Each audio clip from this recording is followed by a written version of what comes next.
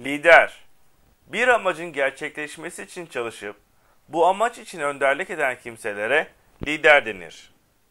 Liderler, grup üyelerinin fikirlerini dinlemelidir. Grup içindeki görevlerin adil dağılımından sorumlu olmalıdır. Herkese adil davranmalıdır. Grubun ortak kararlarına uyum göstermelidir.